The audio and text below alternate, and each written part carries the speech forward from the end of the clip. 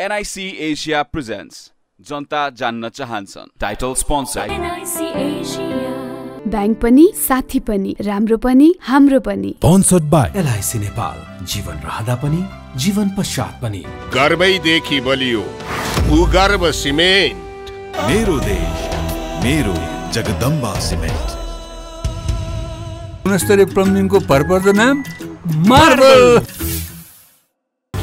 KB स्याम डुबाल brand हाम्रो सामान हाम्रै स्वाभिमान। राष्ट्रको सान किसान। लिकेजको नो टेन्सन मारुति सिमेन्ट।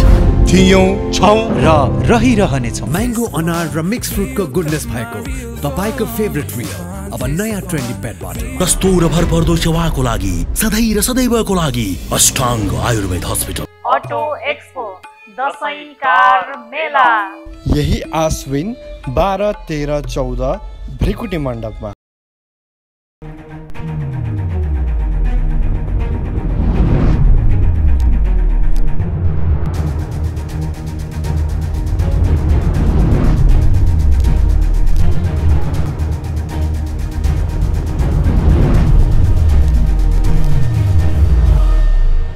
नमस्कार दर्शक दसैँको चहलपहल हत्तै बढेको छ। काठमाडौँबाट आफ्नो घर फर्कनेहरूको लर्को छ जताततै यतिखेर बस पाडमा भिडभाड छ।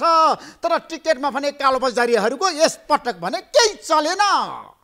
त्यसैले आजको कार्यक्रममा हामी जनताहरू घर जान चाहन्छन्। आफ्नै घरमा बसेर दसैँ मनाउन चाहन्छन्। यसपटकको दसैँ उनीहरूको लागि एउटा खुसीको छेड पनि हो। कोरोनाको कारणले गर्दाखेरि दुई वर्ष अघि सम्मको दसैँ र आजको दसैँ भोलिको दसैँ र यसपालाको दसैँमा धेरै फरक छ। किनभने हाम्रो देशका जनताहरूले दुई वर्ष अघिदेखि गत दसैँ पनि राम्रोसँग मनाउन पाएनन् र उनीहरूले कोरोनाको कारणले गर्दाखेरि दसैँमा त्यति तामझामका साथ टिका लगाउन पाएनन्। यसपटक भने सबैले टिका लगाउन पाउने भएका छन्। राष्ट्रपतिले पनि सबैलाई टिका लगाइदिने कुरा बताउनु भएको छ। आजको कार्यक्रममा हामी यसबारे पनि चर्चा गर्न चाहन्छौँ। राष्ट्रपतिले साँच्चीकै सर्वसाधारणलाई पनि टिका लगाइदिने र प्रधानमन्त्रीले पनि टिका लगाइदिने यसपटक र देशका शीर्ष नेताहरू सबैले जनतालाई टिका लगाइदिने। त्यसैले आजको कार्यक्रममा हामी यसबारे पनि चर्चा गर्न चाहन्छौँ र दसैँको कुरा गरिरहँदाखेरि महँगी हत्तै बढेको छ। कालोबजारीहरू सल्बलाइरहेका छन्। सरकारले नियन्त्रण गर्न सकेको छैन। महँगी किन नियन्त्रण गर्न सकेन? सरकारले महँगी सरकार कहाँ चुक्यो? आजको कार्यक्रममा हामी यसबारे पनि विशेष रूपमा चर्चा गर्न चाहन्छौँ। र यतिखेर दलहरूको बैठक धमाधम भइरहेको छ। शीर्ष नेताहरू बन्द कोठाभित्र बसेर छलफल गरिरहेका छन्। तर उनीहरूले अझै पनि निकास निकाल्न सकेनन्। दलहरू कहाँ चुके भलटारमा सरकारी निवासमा लगातार दुई महिनादेखि सिटको भागभन्डामा बैठक जारी छ तर किन मिल्न सकेन? भागभन्डा कहाँ चुक्यो पाँच दलीय गठबन्धनका शीर्ष नेता। आजको कार्यक्रममा हामी यसबारे पनि चर्चा गर्न चाहन्छौँ र पाँच दलीय गठबन्धनको कुरा गरिरहँदाखेरि बालुवाटारमा अहिले शीर्ष नेताहरूको बैठक जारी छ। आज बिहानैदेखि बालुवाटारमा बैठकै बैठक भएको छ कङ्ग्रेसको आन्तरिक द्वन्द्व व्यवस्थापन गर्न। पार्टी सभापति शेरबहादुर देउबाले शेखर कोइरालालाई बोलाउनु भयो गगन थापालाई बोलाउनु भयो त्यहाँ पनि छलफल भयो। असन्तुष्ट पक्षको मागलाई सम्बोधन गर्न शेरबहादुर देउबा लचिलो हुनुभएको छ र उहाँले भन्नुभएको छ समानुपातिकको बन्द सूचीमा राखेका केही नामहरू तलमाथि हुन्छ। र को को पर्लान् त अब भाग्यमानी? कसको नाम हट्ला त नयाँ को को इन्ट्री होला त आजको कार्यक्रममा हामी यसबारे पनि चर्चा गर्न चाहन्छौँ। र बन्द सूचीको कुरा गर्दाखेरि समानुपातिक निर्वाचन प्रणाली हाम्रो देशको लागि यो घातक हो भनेर धेरैले भन्न थालिसके। आफ्ना मान्छे श्रीमती आफन्त परिवारजन र उद्योगपति व्यापारीहरू र बिचौलियाहरूको प्रभाव समानुपातिकमा पर्न थालेको छ। त्यसैले समानुपातिक भनेको हाम्रो देशको आरक्षणको कुरा गर्न चाहन्छौँ। आरक्षण दिने भनेर समानुपातिक राखिएको तर त्यहाँ किन दलहरूको चलखेल हुन्छ? त्यसैले आजको कार्यक्रममा हामी यसबारे पनि चर्चा गर्न चाहन्छौँ। हामीसँग अन्य धेरै विषयवस्तु छ आज। अब कङ्ग्रेसले टिकटमा कसलाई वितरण गर्दैछ? कुन कुन क्षेत्रमा कङ्ग्रेसको नयाँ अनुहार प्रवेश हुँदैछ? यसपटकको निर्वाचनमा दुई सय पचहत्तर सांसद हाम्रो देशमा हो समानुपातिकमा एक सय दस र प्रत्यक्षमा एक सय पैँसठी अब के होला त? यसपटकको निर्वाचनमा। कसले बाजी मार्ला त? एक सय पैँसठीमा। एमालेको सचिवालयको बैठक पनि बालकोटमा जारी छ केपी शर्मा ओलीको निवासमा। र यतिखेर बैठकमा चाहिँ के गर्ने भनेर केपी शर्मा ओलीले क कसलाई कसरी टिकट दिने भनेर छलफल जारी राख्नु भएको छ र केपी शर्मा ओलीले दस भाइलाई पनि यतिखेर शर्त अगाडि सार्नु भएको छ र विगतमा गरेको गल्तीलाई सच्याउनै पर्ने माधवकुमार नेपाललाई त्यतिखेर साथ दिनेहरूले गल्ती गरेको महसुस गर्नुपर्ने अनि मात्र शर्त राखेर शर्त मानेर अनि उनीहरूलाई टिकट दिने। तयारीमा केपी शर्मा ओलीको रणनीति छ र माओवादीबाट आएका एमालेमा प्रवेश गरेकाहरूको पनि असन्तुष्टि हत्तै बढेको छ। उनीहरूको भनाइ छ यसपटक एमाले टिकट वितरणमा न्याय दिएला त सबैले टिकट पाउला नि त समानुपातिकमा अथवा प्रत्यक्षमा के होला? यतिखेर एमाले कस्तो गठबन्धन बनाउँदैछ रापापरा लोसपासँग वार्ता गरिरहेको एमाले अब के गर्ला त तालमेल कुन कुन निर्वाचन क्षेत्रमा गर्न सक्छ? आजको कार्यक्रममा हामी यसबारे पनि चर्चा गर्न चाहन्छौँ। र आज हामी अहिलेको अवस्थामा डेङ्गुको नियन्त्रण गर्न सरकार कहाँ चुक्यो? सबैलाई थाहा छ। यतिखेर डेङ्गु कारणले गर्दाखेरि पैँतिसजनाको मृत्यु भइसकेको छ। डेङ्गु कारणले गर्दा जनजीवन अस्तव्यस्त भएको छ। डेङ्गु नियन्त्रण गर्न सरकारले सकेको छैन। लामखुट्टे मार्न सरकारले किन सकेन? जनताका धेरै प्रश्नहरू छन्। आजको कार्यक्रममा हामी यसबारेमा पनि चर्चा गर्न चाहन्छौँ र आज हामी डेङ्गु नियन्त्रण गर्न अब सरकारले कस्तो कदम चाल्नु पर्ला भन्ने बारेमा पनि गहिराइमा गएर हामी समीक्षा गर्न चाहन्छौँ। नेपाली कङ्ग्रेसको आन्तरिक द्वन्द्वको बारेमा पनि आजको जनता जान्न चाहन्छ भने कार्यक्रममा हामी विशेष खोतल्न चाहन्छौँ र देशभरिको राजनीतिक गतिविधि निर्वाचन क्षेत्रमा जनताहरू यतिखेर कस्ता उम्मेदवार आउँछन् भनेर हेरिरहेका छन्। यसपटक दलहरूले उम्मेदवारी दिँदाखेरि योग्य राम्रो सक्षम र जनताको चाहनाअनुसार काम गर्न सक्ने र भ्रष्टाचार नियन्त्रण गर्न सक्ने नयाँ अनुहार जनताले खोजेका छन्। आजको कार्यक्रममा हामी यसबारे पनि चर्चा गर्न चाहन्छौँ र कस्ता आउलान् त नयाँ अनुहार? यसपटकको निर्वाचनमा मक्सी चारपछि आजको कार्यक्रममा हामी विशेष खुलासा गर्न चाहन्छौँ। म केही समयको विश्रामपछि देशको राजनीतिको मूल विषयवस्तुमा हामी केन्द्रित भएर अनि समग्र रूपमा दलहरूको गतिविधिलाई समेटेर अनि निर्वाचनमा कुन दलले कहाँ कसलाई उम्मेदवार बनाउँदैछ भन्ने बारेमा पनि आज हामी विशेष रूपमा बहस गर्न चाहन्छौँ। आजको जनता जान्न चाहन्छन् कार्यक्रममा म केही समयपछि विशेष व्यक्तिको साथमा आउनेछु। प्रतीक्षा गर्नुहोस् जनता जान्न चाहन्छन् कार्यक्रम लगातार आजको जनता जान चाहन्छन् कार्यक्रममा हाम्रो बिचमा नेपाली कङ्ग्रेसका दुईजना नेता हुनुहुन्छ। यहाँहरू दुवैजनालाई स्वागत गर्न चाहन्छु। सुबिर खनालज्यू र राजेश्वर खनालजी। यहाँहरू दुवैलाई कार्यक्रम स्वागत गर्न चाहन्छु। अब तपाईँ नेपाली कङ्ग्रेसको परिपक्व नेता मलाई बताउनुहोस्। शेरबहादुर देवालले कङ्ग्रेस मिलाउन सक्नुहुन्छ निर्वाचनमा? तपाईँलाई विश्वास छ? उहाँले प्रयास गर्नुपर्छ। शेखर कोइराला समूहको शर्त मान्ने कि नमान्ने? मान्नु पऱ्यो मान्नु पऱ्यो। त्यसो तर उहाँले भन्नुभएको छ शर्त सबै मान्न सक्दिनँ। अब के होइन, गर्ने? सबै भन्ने कुरा हुँदैन। शर्त भनेर भन्दा साथै त्यसलाई मान्ने र कतिपय कुराहरू छैन बन्द सूचीमा राखेका नामहरू हटाउन शेरबहादुर तयार हुनुहोला? तपाईँलाई विश्वास छ? होइन बन्द सूचीमा राखेको नामहरू शेरबहादुर देउबा भनेको एउटा परिपक्व नेता हो। होइन? उहाँले मैले देखेको मैले बचपनदेखि उहाँलाई झेरेको नेता हो होइन? अब उहाँलाई व्यक्तिगत रूपमा तपाईँ छोडिदिनुहुन्छ भने उहाँले गलत मान्छेहरूलाई उहाँले हटाउनुहुन्छ। तर उहाँलाई कसैले प्रभावित गर्छ भने उहाँले छोड्नुहुन्छ छोड्नुहुन्न मलाई शङ्का छ। तर शेरबहादुरको भनाइ के छ भने शेखर कोइराला समूहले धेरै मलाई दबाब दियो। काम गर्न दिएन असफल बनाउने काम गर्यो भन्ने छ नि त। त्यो। तपाईँलाई के लाग्छ? त्यो त्यो त्यो म मान्दिनँ। किन मान्दिनँ भने शेखर कोइरालाले के गरेर उहाँलाई दबाब दिए त? भाग भन्न खोज्नुभयो चालिस साठी। चालिस साठी भन्ने कुरामा चाहिँ जानु हुँदैन। मैले देखेको है।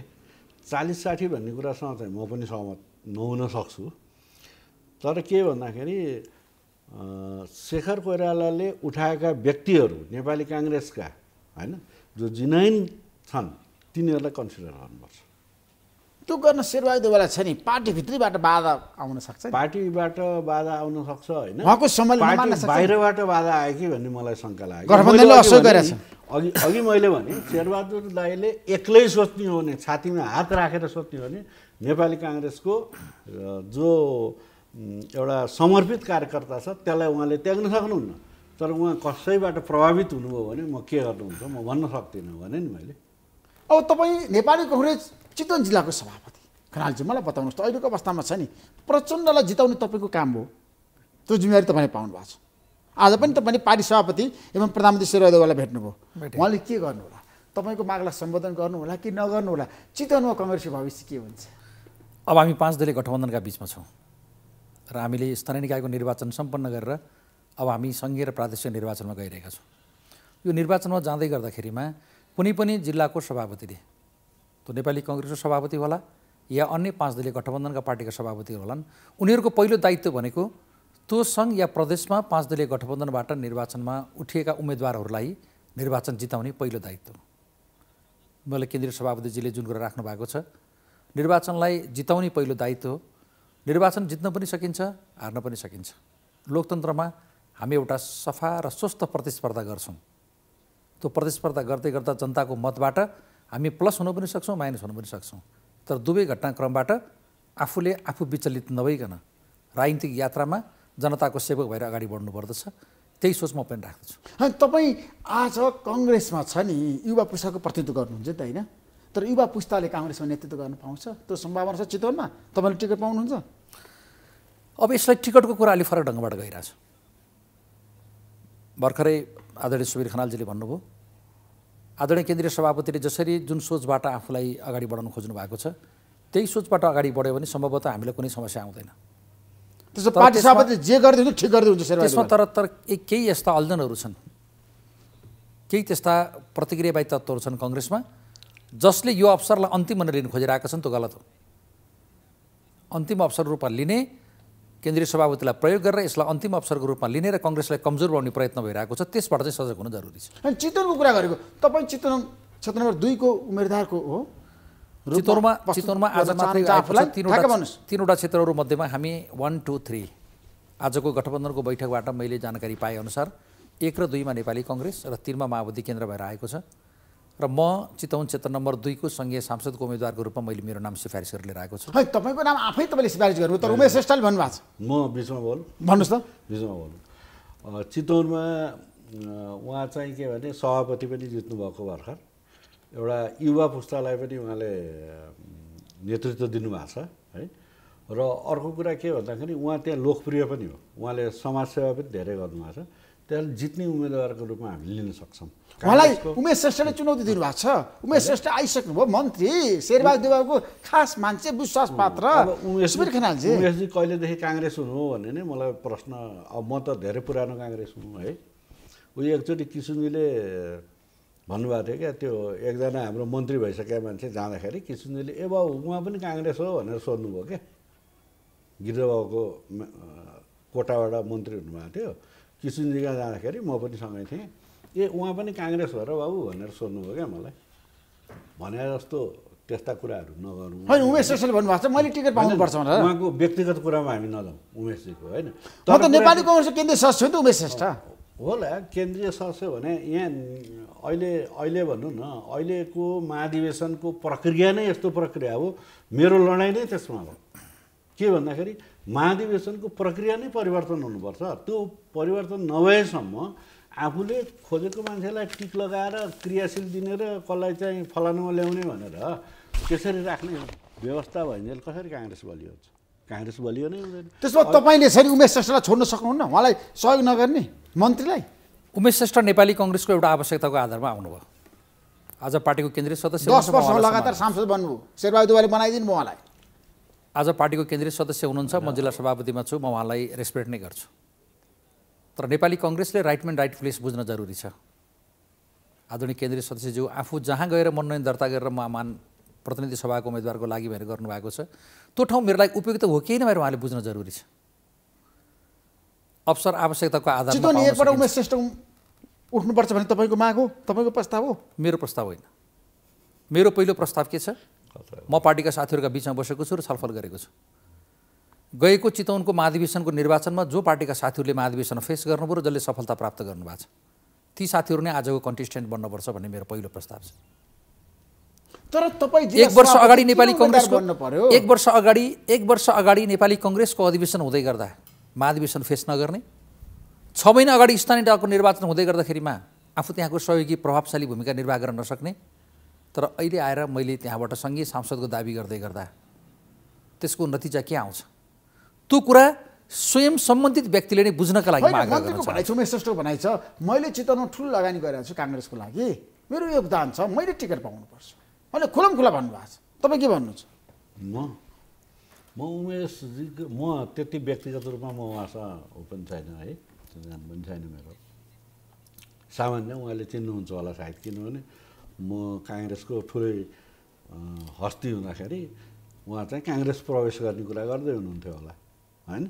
त्यो भावनाले उहाँले मलाई चिन्नुहुन्छ चिन्नुहुन्न म जान्दिनँ। तर काङ्ग्रेसभित्र पदको कुराहरू गरेर ल्याउने हो भने यो कस्तो हो भने गणेशमानजी कुनै पनि पदमा थिएन। तर कङ्ग्रेसमा पद बिना कोही पनि बस्न सक्दैन बाँच्न सक्दैन गाह्रो छ। त्यही कुराको त परिवर्तन हामी खोजिरहेछौँ त्यो परिवर्तन सम्भव छ सुबिरजी। त्यो होइन सम्भव होइन त्यसलाई सम्भव तुल्याउनु पर्यो। सम्भव गराउनु पर्यो हामीले। कङ्ग्रेसमा हुने खानेको पुस्ता छ। सम्पन्न पुस्ता छ। पैसावाला पुस्ता छ। उनीहरूले टिकट मन्त्री हुन होइन अब पहुँचवाला पुस्ता छ। पहुँचवाला अब घराइसी घराइसी भइसक्यो अहिले त होइन। अब यो जुन परिस्थिति छ। यो परिस्थितिलाई हामीले सरसरै हेर्दाखेरि हामीले बाह्य राजनीतिलाई पनि हेर्नुपर्छ क्या। हाम्रो राजनीतिमा प्रभावित पार्ने राजनीति भारतको राजनीति पनि हो। भारतको जुन परम्परा छ नि त्यो परम्परालाई हामीले अनुसरण गरेर देख्छ देखिन्छ है। हाम्रो राजनीतिले अनुसरण गरेर देखिन्छ। भारतमा पनि परिवारवाद विरोध एजेन्डा चलिरहेको बेला र त्यसले जितिरहेछ है। परिवारवाद विरोधी एजेन्डा चलाएर त्यो अर्को पार्टी जितिराखेको छ क्या। त्यो अवस्था हेर्दा हेर्दै हामी चाहिँ परिवारवादतिर किन लम्किने? तर कङ्ग्रेस पनि त परिवारवादमा फँसेको छ त्यही त भन्दैछु त्यतातिर किन लम्किरहेको समानुपातिमा हेर्नुहोस् त श्रीमतीहरू। अब त्यो उत्तर प्रदेशमै हेर्नुहोस् न त्यो एउटा केही न केही हाम्रो योगीजी होइन यहाँ र के हिन्दू सेना हिन्दू बाहिनी भनेर खोल्नुभएको थियो। उहाँको कुनै पोलिटिकल प्रोफाइलै थिएन। तर उहाँ एक्सन ओरिएन्टेड भएपछि के भयो भन्दाखेरि उहाँको पोलिटिकल प्रोफाइल आयो नि होइन? त्यस्तै हाम्रो यहीँ अहिले काठमाडौँको कन्ट्याक्ट हेरौँ। बालन भन्ने कसले चिनेको थियो? हिजो दुई दुई महिना अगाडि। तर एक्सन ओरिएन्टेड भयो परिवर्तन ल्यायो। त्यसले गर्दाखेरि अहिले त कमसेकम सबैलाई के हो कसो हो भन्ने त एउटा भन्यो नि। भनेपछि काङ्ग्रेसभित्र हामीले परिवर्तन ल्याउनलाई दुई चारजना मान्छे तम्सियो भने सकिँदैन र। त्यो गाह्रो छ कङ्ग्रेस भनेको अहिले आर्थिक रूपमा नातावादमा कृपावादमा त्यो- कुरा हुत्याउनु- फसिसक्यो। त्यो कुरा हुत्याउनु- हुनेवालाको पार्टी भइसक्यो खाने हुनेवाला खाने एकदम सम्पन्न वर्गको पार्टी त्यो कुरालाई हुत्याउन यदि हामीले सकेनौँ भने नेपालको राष्ट्रियतामाथि प्रश्न चिन्ह लाग्छ। मैले देखेको कुरा है। नेपालको राष्ट्रियता जब काङ्ग्रेस कमजोर हुन्छ नेपालको राष्ट्रियता कमजोर भएको छ। है? जब नेपाली कङ्ग्रेस कमजोर हुन्छ तब तब के भइरहेछ भन्दाखेरि यहाँ चाहिँ एकदम अर्कै शक्ति हाबी भइरहेको देखिन्छ होइन? एरिस्टोक्रेटिक भनौँ हामी त्यो खालको शक्तिहरू हाबी भएको देखिन्छ त्यसले गर्दाखेरि नेपालको राष्ट्रियता नेपालको स्वाधीनता नेपालको क्षेत्रीय अखण्डता हामीले जोगाउनु भने नेपाली काङ्ग्रेसलाई बलियो बनाउनु पर्यो। अब कङ्ग्रेस बलियो बनाउने नेता चाहियो जस्तो खनालजी मलाई बताउनुहोस् तपाईँ चितवन काङ्ग्रेसको सभापति नाताले। अब तपाईँले भन्नुभयो म दावेदार हुँ क्षेत्र नम्बर दुईबाट म उम्मेदवारी दिन्छु। तपाईँको चाहना छ। यदि तपाईँलाई पार्टीले टिकट दिएन उमेश श्रेष्ठलाई दियो भने तपाईँ के गर्नुहुन्छ? अब यो पार्टी। यो पार्टीभित्र टिकट दिने निकाय छुट्टै छ। संसदीय बोर्डले तपाईँलाई दिएन विश्वास। गरेन। मैले यसलाई प्रारम्भमै तपाईँलाई कुरा राखिसकेको छु। पार्टीको सभापतिको दायित्व भएको कारणले गर्दा निर्वाचन जिताउनुको लागि म प्रयासरत रहनेछु। त्यसो पार्टीको निर्देशन तपाईँ मान्नुहुन्छ। मान्नुपर्छ। तपाईँ प्रचण्डलाई उमेश श्रेष्ठलाई मान्नुपर्छ। अथवा एक नम्बर क्षेत्रबाट को उम्मेदवार? विश्व पौडेल। बाहिर आएछ त्यो नाम? मलाई त्यस्तो लाग्दैन। तपाईँलाई थाहा छैन विश्व पौडेलले दिने रे? मलाई त्यस्तो लाग्दैन। मलाई त्यस्तो लाग्दैन। बाहिर आइसक्यो नामहरू धमाधम। चितवनबाट तिनैजनाको नाम आइसक्यो प्रचण्ड तिनमा दुईमा उमेश श्रेष्ठ एकमा विश्व पौडेल यही किसिमबाट नै अगाडि बढ्यो भने हामी के हुन्छ? अवस्था। यही तपाईँ परिस्थितिबाट सभापति नाताले भन्नुहोस्। यही परिस्थितिबाटै अगाडि बढ्ने मानसिकता बनेछ भने र यही टिकट तपाईँले भनेको जस्तै गरी गएछ भने हामी नतिजा सकारात्मक हुन्छ भन्नेमा कम आशा राखौँ। त्यसो कङ्ग्रेस चुनाव हार्छ। कम आशा राखौँ। उमेश श्रेष्ठ तपाईँले हराउनु पार्टीको सभापतिले म मैले एउटा टेलिभिजनबाट नेगेटिभ कुरा गर्न हुँदैन। नेपाली कङ्ग्रेसको संसदीय बोर्डमा केन्द्रीय सभापति महामन्त्रीदेखि चितवनलाई अत्यन्त नजिकबाट चिन्ने मानिसहरू हुनुहुन्छ। म सभापति भएपछि नै चितवन जिल्लामा केन्द्रीय सभापति दुई पटक वरिष्ठ नेता तिन पटक महामन्त्री चार पटक पुग्नु भएको छ। पार्टीको उपसभापति दुई पटक पुग्नु भएको छ र प्रत्येक कार्यकर्ताका बिचमा उहाँहरू भिज्नु भएको छ। यो खालबाट टिकट वितरण गर्ने परिस्थिति बन्दै गर्दा हामी सकारात्मक नतिजामा पुग्न अत्यन्त कठिन हुन्छ। र पुग्न सक्ने सम्भावना न्यून रहन्छ। म यही कुरा मात्रै आग्रह गर्छु। होइन काङ्ग्रेसभित्र तपाईँलाई थाहा छ पछिल्लो समय उद्योगपति व्यापारीहरूको प्रवेश भइरहेछ। र उमेश श्रेष्ठले भन्नुभएको छ मैले शिक्षा क्षेत्रमा स्वास्थ्य क्षेत्रमा आमूल परिवर्तनलाई काम गरेँ मलाई टिकट चाहिन्छ। यसपटक उहाँले प्रधानमन्त्रीलाई भन्नु उहाँले त्यो कुरा केन्द्रीय सभापतिसँग माग गर्ने कुरा उहाँको कुरा रह्यो। तर उहाँ आफू कहाँबाट निर्वाचन लड्ने भनेर पहिचान हुन जरुरी छ। म उहाँको बारेमा धेरै बहस गरेर म होइन चाहन्छु। चितवन क्षेत्रमा दुईबाट उहाँले उम्मेदवारी दिनुभएको छ नि त। भन्नुभएको छ सिफारिस भएर नाम आएको छ नि त। उहाँले नामाङ्कन गर्नुभएको नाम त आइसक्यो नि। उहाँको नामाङ्कन गर्नुभएको छ।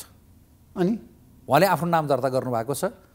नाम सामान्य अवस्थामा उहाँको नाम आएको छ। नाम आएको छ आएको छ उमेश श्रेष्ठको आएको छ। आएको छ।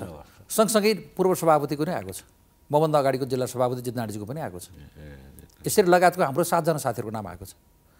नाम आउने कुरा ठुलो कुरा हो कि निर्वाचन जित्ने कुरा ठुलो कुरा होइन क्षेत्रमा टिकट लिने कुरा एकबाट पनि आएको उमेश श्रेष्ठको नाम त। एकबाट जति साथीहरूले मनोनयन दर्ता गर्नुभएको छ सबै ठाउँबाट सबै नामहरू नै केन्द्रमा पठाइएका छन्। त्यसले गर्दा मैले अर्को एकबाट होइन तिनवटा हालेका नामहरू पनि केन्द्रमा आएका छन् नि। नाम हालेर आउने कुरा ठुलो कुरा होइन म कसको नाम सिफारिस भयो भन्ने कुरासँग भन्दा पनि नेपाली कङ्ग्रेसका केन्द्रीय सभापति लगायतका पदाधिकारीहरू र संसदीय समितिका मानिसहरू चितवनसँग परिचित हुनुहुन्छ। चितवनको रिजल्ट दिनका निमित्त उहाँहरूले कसलाई उम्मेदवार दिने गर्दा बेटर हुन्छ कसलाई। उम्मेदवार जित्न सक्छ कङ्ग्रेस ठ्याक्कै भन्नुहोस् ल तपाईँ जिल्ला सभापति नाता ल। तिनमा को? व्यक्तिगत रूपमा मैले यो भनेर भन्न मिल्दैन। नेपाली कङ्ग्रेसको केन्द्रीय समिति ऋषिजी नेपाली कङ्ग्रेसको केन्द्रीय समितिले र पाँच दलीय गठबन्धनबाट एक र दुईमा नेपाली कङ्ग्रेस उम्मेद्वार रहने र तिनमा माओवादी केन्द्रको रहने भनिसके पछाडि तिनमा को केन्द्र रहने भन्ने कुरा मेरो। प्रचण्डले उम्मेदवारी दिने आइसक्यो। ठिक पुष्पकमल दाल प्रचण्डको उम्मेदवारी कुरा आएको छ त्यो एउटा पाटोमा रहला। तपाईँ समर्थन गर्नुहुन्छ होइन? हामीले नेपाली कङ्ग्रेसको केन्द्रीय समितिले निर्णय गरेको प्रत्येक कुरा म समर्थन गर्छु। त्यसो प्रचण्ड जिताउनु तपाईँ लाग्नुहुन्छ? लाग्छौँ। प्रचण्ड जित्नुहुन्छ चुनाव अब यसलाई मैले अहिले मिल्छ? खनालजी जिल्ला सभापतिको नाताले। जित्ने सम्भावना बढी छ। राष्ट्रिय नेता हो। मुलुकका बिचमा अत्यन्तै प्रतिगमनको परिस्थिति बन्दै गर्दाखेरिमा उहाँले एउटा साथ दिएर आउनु भएको छ। नेपाली कङ्ग्रेसलाई उहाँले गुण पनि लगाउनु भएको छ। राज पाँच दलीय गठबन्धन छ। उहाँको साथमा सहयोग रहेर नेपाली कङ्ग्रेसको नेतृत्वमा आज सरकार बनिरहेको छ। तसर्थ नेपाली कङ्ग्रेसले उहाँलाई साथ दिन्छ। केही छिटफुट कुराहरू अवस्थाहरू आउलान्। हिजो स्थानीय निकायको निर्वाचनमा केही कुराहरू आएका थिए यो परिस्थिति अहिले बनिरहेको छैन र फरक ढङ्गबाट जान र चुनाव जित्न सक्ने सम्भावना बढेर गएको छ। उहाँ राष्ट्रिय नेता भएको कारणले गर्दाखेरिमा र गठबन्धनभित्र उहाँको जुन इमान्दारिता छ त्यो कारणले गर्दाखेरिमा पनि नेपाली कङ्ग्रेसले उहाँलाई सहयोग गर्छ। सहयोग गर्दै गर्दाको अवस्थामा उहाँले आफ्नो माओवादी केन्द्रको भोटलाई कन्ट्रोल गर्दै गर्दा या समाजवादीको केही मतहरू थप्दै गर्दाखेरिमा र केही लोकप्रिय मतहरू र त्यहाँको जुन पछिल्लो समयको डेभलपमेन्टको पूर्वाधारका बिचमा पुष्पकमल दाल प्रचण्ड जोडिनु भएको छ। त्यसले गर्दाखेरि पनि निर्वाचन जित्ने सम्भावना बढिरहन्छ। क्षेत्र नम्बर दुईमा कसरी जित्छ? क्षेत्र नम्बर दुई म आफै उम्मेद्वार भएको कारणले गर्दा मैले अघि नै तपाईँसँग भनिसकेँ। म आफै उम्मेद्वार भएको कारणले गर्दाखेरि म निर्वाचन कसरी जित्नुपर्छ भन्ने बारेमा थाहा छ क्षेत्रसँग म। ऋषि म त्यो क्षेत्रसँग तिस वर्षदेखि परिचित छु। तपाईँ निर्वाचन जित्न माहिर मान्छे म। नेपाली कङ्ग्रेसको म नेपाली कङ्ग्रेसको। म नेपाली कङ्ग्रेसको आज मात्रै होइन। म चालिस बयालिस सालको क्लास एट नाइन पढ्दैछु म नेपाल विद्यार्थी सङ्घ भएर मैले काम गरेको हुँ। म त्यही चितवन जिल्लाको त्यही क्षेत्रमा बसेर म नेभी सङ्घको केन्द्रीय सदस्यसम्म भएँ। पछि फेरि म तरुण दलको जिल्ला सभापति भएर काम गरेँ र लामो समय पन्ध्र वर्ष पार्टीमा निरन्तर काम गरेर अहिले सभापति भएको छु। चितवनको क्षेत्र नम्बर दुई यहाँबाट हेर्दै गर्दाखेरिमा सर्टेन ठाउँ केही होला तर हिमाल पहाड र तराईको सम्मिश्रण छ। नारायणगढको बजारदेखि भरतपुरको व्यस्त सडकहरूदेखि त्यहाँका भौतिक मानिसहरूलाई लिने कुराहरूदेखि लिएर गएर कालिका नगरपालिकाका सामान्य ठाउँहरूदेखि इच्छा कामनाका चेपाङ बस्तीहरूसम्मलाई सम्बोधन गर्नुपर्छ। अहिले पनि विगतमा भएका नेतृत्वहरूबाट विशेष गरी चितवनको क्षेत्र नम्बर दुई विकासमा अत्यन्तै पछाडि परेको छ। त्यो पछाडि परेको परिस्थितिलाई कसरी माथि उठाउन सकिन्छ भन्ने बारेमा म एउटा इकोनोमिक्सको विद्यार्थी पनि भएको हुनाले डेभलपमेन्ट बोर्डले यसरी बनायो भने यो क्षेत्रको डेभलपमेन्टलाई हामी आउँदो करिब करिब दसदेखि पन्ध्र वर्षको बिचमा यो क्षेत्रलाई हामी नारायणगढ जस्तै बनाउन सक्छौँ भन्ने मलाई विश्वास छ। तसर्थ योजनाका साथ मैले आफ्नो उम्मेदवारी दर्ता गरेको छु र मैले दावा गरेको छु। त्यसमा क्षेत्र नम्बर एकमा कसरी छ विश्व पौडेलले जित्नुहुन्छ? अब पटक पटक हजुरको नाम विश्व पौडेल के लिइरहनु भएको छ? म मलाई चिन्दिनँ। प्रधानमन्त्रीले भन्नुभएको छ विश्व पौडेललाई म अत्यन्त कम। चिन्छु। आरु देउवाले भन्नुभएको छ विश्व पौडेललाई म हजुरसँग। कुराकानी भएको होला मसँग त्यस्तो कुरा भएको छैन। मैले आज मात्रै केन्द्रीय सभापतिलाई भेटेको छु। केही मानिसहरू चितवनमा अहिले पछिल्लो समय टिकटको लागि दावा गर्नुभयो। टिकटको लागि दावा गरेको कारणले गर्दाखेरिमा चितवनको वातावरण पोल्युटेड भयो। भन्दा यसमा मेरो कुनै हात छैन मैले भनेको छैन। र यसमा यो कुरा कुनै पनि विश्वास नगरोस् भनेर भन्नुभएको छ। सुरु बाग्लेको नाम आइरहेको छ उहाँले पनि एक नम्बरबाट आएको छ। डाक्टर सुनिमको नाम आएको छ डाक्टर विश्वको नाम आएको छ डाक्टर प्रोफेसर डाक्टर तीर्थ खनियाको नाम आएको छ। लामो समयदेखि लामो समयदेखि योभन्दा? योभन्दा ऋषिजी योभन्दा दुई पटकसम्म नेपाली कङ्ग्रेसलाई अत्यन्तै तल्लो धरातलबाट उठाएर दुई दुई पटकको निर्वाचनमा पराजित भएर पनि त्यहाँको सङ्गठन धरातल धान्दिने पार्टीको महाधिवेशन महासमिति सदस्य आदरणीय राजेन्द्र बुर्लाकोटी चाहिँ आउनु भएको छ। पार्टीको पुरानो साथी भीमप्रसाद थपलियाको नाम आएको छ। छ सातजना साथीहरूको नाम आएको छ। त्यसले गर्दाखेरिमा त्यहाँभित्र यो यो त्यो भन्ने कुरा छैन। नेताहरूका बिचमा एउटा छलफलको विषयवस्तु बनेको होला। तर मैले अहिले तपाईँलाई कुरा राखिसकेँ। म पार्टी सभापति भएको कारणले गर्दाखेरिमा काङ्ग्रेसको महाधिवेशनमा सहभागी भएर महाधिवेशन प्रतिनिधि भएका मान्छेहरूका बिचबाट उम्मेदवारका बिचहरूबाट नेताहरूको बिचबाट उम्मेदवार छनौट गर्नका लागि मैले विशेष आग्रह गरेको छु। सुबिर खनाल जस्तो काङ्ग्रेसमा टिकटको लागि जुन मारामारी हुन्छ तछाड मछाड हुन्छ यसपटक झन् ठुलो सङ्कटमा पर्यो नि कङ्ग्रेस। कङ्ग्रेसको अहिलेको स्थिति हेर्दाखेरि जस्तो हामी निर्वाचनमा किन जाने? पहिलो प्रश्न त्यो आउँछ। हामी निर्वाचनमा जाने किन भन्दाखेरि हाम्रा हाम्रा जुन फिलोसफिकल अवधारणाहरू छ नि त्यो अवधारणाहरूलाई हामीले प्रोग्राममा लाने। प्रोग्राममा लगेर त्यसलाई प्रोजेक्टमा लाने। प्रोजेक्ट बनाएर लैजानु पऱ्यो नि। जस्तो हामीले प्रजातान्त्रिक समाजवाद भन्छौँ। प्रजातान्त्रिक समाजवाद भनेको त हाम्रो एउटा फिलोसफी हो। होइन? हाम्रो गन्तव्य हो नि त। त्यो त्यो प्राप्ति गर्ने के हो त भन्दाखेरि समाजवादको कार्यक्रमहरू प्रोजेक्टहरू हामीले बनाउनु पऱ्यो निर्माण गर्नु पऱ्यो। भन्दाखेरि आखिर हाम्रो गन्तव्य के हो भन्दाखेरि हामीले प्रजातान्त्रिक समाजवादी आचरण भएको समाज निर्माण गर्ने। समाज निर्माण गर्ने कुरा हो क्या राजनीति भनेको। राजनीति भनेको राजनीति भनेको भाँडो भइसक्यो त्यस कारण के भने एउटा पैसा टिकट पाउँछ, चुनाव जित्छ। एउटा समाज निर्माण गर्ने हो नि त। होइन राजनीति भनेको।